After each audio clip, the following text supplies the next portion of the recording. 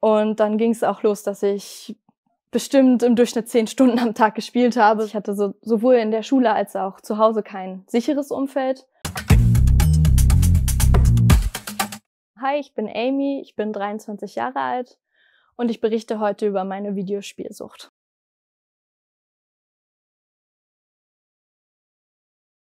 Ich habe mit 13 angefangen zu spielen. Äh, da habe ich League of Legends entdeckt und ähm, das war dann auch nicht so, dass sich das irgendwie so in mein Leben geschlichen hat oder so, sondern ich habe das Spiel entdeckt und es hat mich sofort gepackt. Und dann ging es auch los, dass ich bestimmt im Durchschnitt zehn Stunden am Tag gespielt habe, so an der Höchstphase wirklich, weiß ich, 13, 14, 15 Stunden, also wirklich den ganzen Tag.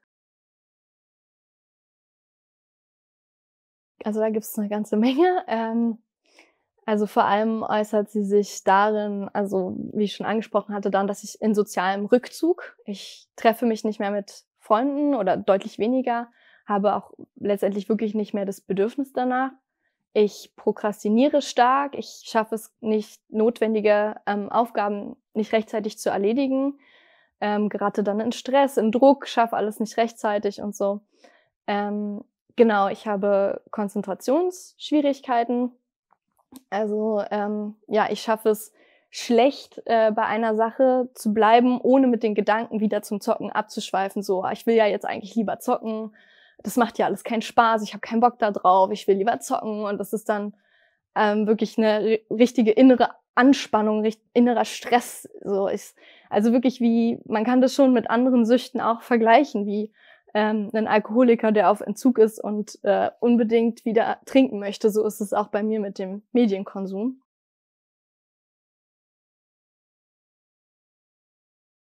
Ich hatte so, sowohl in der Schule als auch zu Hause kein sicheres Umfeld. Und das Zocken war dann für mich so der sichere Hafen. Ähm, da, darin habe ich mich dann geflüchtet jeden Tag für sehr, sehr viele Stunden. Und ähm, da habe ich dann eben auch mein soziales Umfeld gehabt. Ähm, das heißt, ich habe mich von dem realen Umfeld sozusagen komplett abgeschottet, weil ich da ja eben sowieso keinen Mehrwert drin gesehen habe. Für mich war die Welt im Zocken eben das, was mir irgendwo sowas wie Glücksgefühle gebracht hat. benutze das Zocken eben vor allem ähm, in erster Linie, wenn ich gestresst bin oder Kummer habe ähm, das geht dann auch oft einher mit so depressiven Phasen, in denen ich mich schlecht fühle und negative Gedanken kommen, Gedanken, ähm, ja, in, die auch durchaus selbstzerstörerisch sind oder die irgendwie Selbsthass ausdrücken. Ähm, und um mich von diesen Gedanken abzulenken und diesen Gefühlen, die dadurch entstehen, zocke ich eben. Das ist ein Bewältigungsmechanismus für mich. Das nennt sich dann auch dysfunktionale Stressbewältigung. Ähm, weil ich mit diesen Gefühlen dahinter nicht klarkomme. Das ist für mich nicht auszuhalten, diese Gefühle und diese Gedanken zu haben. Und deswegen benutze ich das Zocken, aber eben auch andere Medien wie Streaming, ähm, um mich abzustumpfen, um mich taub zu machen und das nicht so an mich ranlassen zu müssen.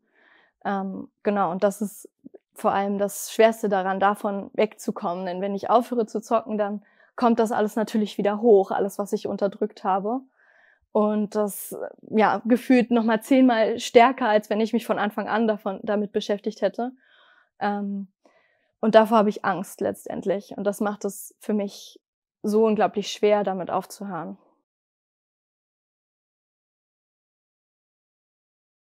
Nachdem es mir selber bewusst war, war es nicht so, dass ich es bewusst verheimlicht hätte. Es war eher so, dass ich sehr mit mir gehadert habe, ob ich diesen Gedanken wirklich zulassen möchte, also dass ich süchtig bin.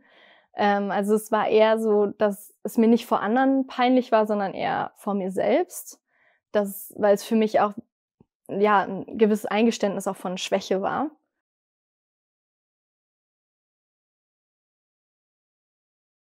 Ich kann auf jeden Fall verstehen, wenn man das sich nicht so eingestehen möchte oder wenn man denkt, das ist doch noch normal, sind doch nur fünf Stunden am Tag oder sowas. Ähm, ich glaube, die wichtige Frage, die man sich stellen muss, ist, ähm, bin ich glücklich und zufrieden damit so, wie es jetzt ist? Und ähm, wenn die Frage, äh, wenn die Antwort Nein lautet und man eher etwas ändern möchte, dann ist es auch ein Zeichen dafür, dass da eventuell ein Problem bestehen könnte. Das muss nicht immer gleich eine ausgewachsene Sucht sein, ähm, aber einfach etwas, was den Alltag einschränkt. Und genau, dann kann ich auch nur empfehlen, das ist natürlich auch ein großer Schritt, aber Institute zu kontaktieren, die sich für sowas einsetzen, das ist enorm hilfreich. Ähm, Gruppen, in Gruppen mit Menschen sprechen, die dasselbe Problem haben, dass man sich einfach nicht mehr so alleine damit fühlt. Das macht enorm viel aus, sich verstanden zu fühlen und ähm, genau, nicht das Gefühl zu haben, man ist alleine mit diesem Problem, man ist alleine mit sich, ähm, man passt sowieso nicht rein, man ist abartig oder sowas in der Richtung.